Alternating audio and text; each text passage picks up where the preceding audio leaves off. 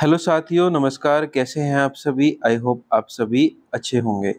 UP में आंगनवाड़ी भर्ती आ चुकी है 2024 में। कौन कौन इसमें अप्लाई कर सकता है? क्या योग्यता रहने वाली है? क्या आपकी एज लिमिट रहेगी? और यहाँ पर कुल वैकेंसी तेईस हज़ार सात सौ तिरपन है। इस भर्ती में कोई भी एग्ज़ाम नहीं होगा, कोई भी इंटरव्यू नहीं होगा। तो सबसे पहले इस वैकेंसी का नोटिफिकेशन देखेंगे, नोटिस देखेंगे।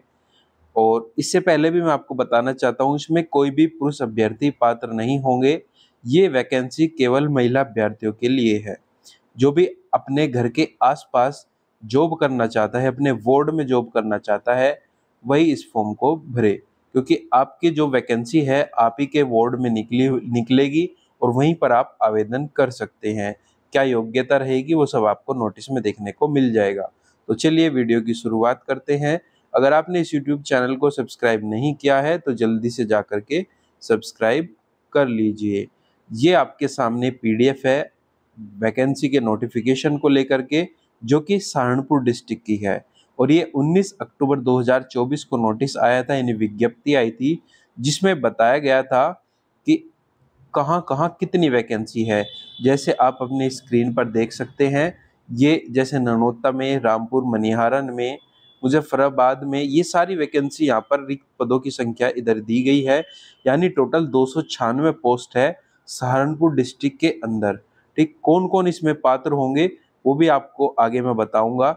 सबसे पहले आपको बता दूँ कि इसमें आपकी ट्वेल्थ पास होनी ज़रूरी है और आप केवल अपने ही वार्ड में अप्लाई कर सकते हैं। ये वैकेंसी घट या बढ़ भी सकती है, ऐसी कोई पाबंदी नहीं है कि इतनी ही वैकेंसी है। जब तक भर्ती कंप्लीट होगी, तब तक वैकेंसी बढ़ या घट भी सकती है। सबसे पहले देखते हैं, केवल महिलाएँ अभ्यर्थी ही पात्र होंगे। ठीक? दूसरा आपका ट्वेल्थ पास होना ज़रूरी है। तीसरा, आप उसी वार्ड के निवासी होने चाहिए जिस वार्ड में आप अप्लाई कर रहे हैं। और एज लिमिट की बात करते हैं, आपकी एज 18 से 35 वर्ष के बीच में होनी चाहिए। कहाँ पर आप आवेदन कर सकते हैं? तो यूपी आंगनवाड़ी भर्ती डॉट इन ये वेबसाइट है, अभी मैं आपको दिखाऊँगा भी। इसी वेबसाइट पर जाकर के आप अपना फॉर्म भर सकते हैं। इस फॉर्म को भरने में ना ही के कोई फ़ीस लगने वाली, ना ही कोई एग्ज़ाम होगा, ना ही कोई इंटरव्यू होने वाला है। केवल और केवल आपका जो एप्लीकेशन है, वो ऑनलाइन होगा, यानी आपको ऑनलाइन आवेदन करना होगा। ऑफलाइन कोई भी आपको आवेदन नहीं करना है, ना ही वो स्वीकार किया जाएगा। विज्ञप्ति की जो लास्ट तिथि है, वो 9 नवंबर 2024 है, यानी 9 नवंबर से पहले आप अपने इस फॉर्म को भर सकते हैं और इस वीडियो को अपने दोस्त, मित्रों या सहेलियों के पास भी शेयर कर दीजिए ताकि वो भी अपने आसपास की वैकेंसी में अप्लाई कर सकते हैं।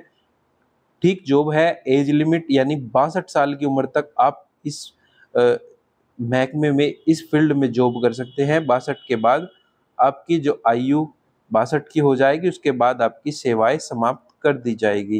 यानी बासठ साल की उम्र तक आप इसमें अप्लाई कर सकते हैं, अठारह से पैंतीस से अप्लाई कर सकते हैं और बासठ साल की एज तक आप इस जॉब को कर सकते हैं। बाकी नोटिफिकेशन ये जो आप देख रहे हैं, इसको मैं टेलीग्राम ग्रुप में भी डाल दूँगा। ऑनलाइन शिक्षण हमारा टेलीग्राम ग्रुप है, उसमें जाइए और वहाँ से इसको डाउनलोड भी कर लेना। ठीक अब अप्लाई करते हैं। कैसे अप्लाई करेंगे, आप कैसे रजिस्ट्रेशन कर सकते हैं, सबसे पहले आपको इस वेबसाइट पर आ जाना है यूपी आंगनवाड़ी भर्ती dot N I dot in ठीक है? यहाँ पर आप सबसे पहले अपना नाम डालेंगे, जैसे आपका नाम होगा एक्स वाई जेड कुछ भी, जैसे काजल है तो काजल डालेंगे, उसके बाद फादर नेम डालेंगे और अपना डिस्ट्रिक्ट यहाँ से सिलेक्ट करेंगे, जैसे सहारनपुर में ये वैकेंसी आई है तो सहारनपुर कर देंगे इसके बाद यहाँ पर मोबाइल नंबर और पासवर्ड बनाएँगे। जैसे आपका नाम स्वाति है तो एस कैपिटल बाकी स्मॉल में at the rate one two three इस तरीके से आप अपना पासवर्ड बना लेना।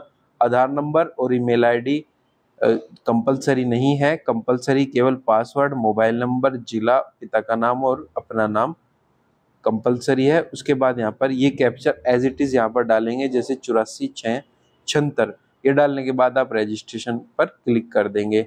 आपका रजिस्ट्रेशन हो जाएगा। मोबाइल नंबर पर ओटीपी आएगा, वो डालने के बाद आपका रजिस्ट्रेशन सक्सेसफुली हो जाएगा।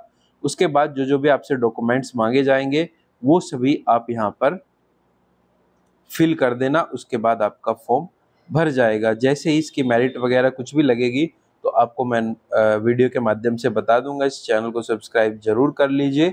बाकी सभी जिलों में वैकेंसी आती रहती है। नेक्स्ट ज़िले में कब वैकेंसी आएगी, कब नहीं आएगी, उसके लिए भी आप चैनल को सब्सक्राइब करके रखें।